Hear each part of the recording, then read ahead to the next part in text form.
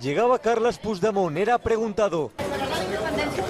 Consejeros, diputados, también estaba Artur Mas. El Partido Demócrata Catalán se conjuraba de urgencia para decidir cuáles eran los siguientes pasos en su desafío al Estado. Todos ellos a puerta cerrada han escuchado el discurso del presidente catalán. Si Rajoy no accede a negociar, dice, levantará la suspensión de la declaración de independencia del pasado 10 de octubre. Le ponía voz la secretaria general. Le hemos pedido al presidente de la Generalitat que si el Estado pues tiene ya o decide poner en marcha el artículo 155, pues que levante la suspensión uh, y haga efectivo pues, el mandato democrático del 1 de octubre. Y atención porque Esquerra Republicana convoca a toda su militancia hasta el viernes para reafirmar esa declaración de independencia hasta el final. Y lo que sabemos a estas horas es que los de Junqueras descartan unas elecciones. Se acercan por tanto a las posiciones de la CUP que no quieren ni oír hablar de unos comicios. Sería eh, traicionar el mandato de los más de dos millones de votos que, del referéndum del 1 de octubre.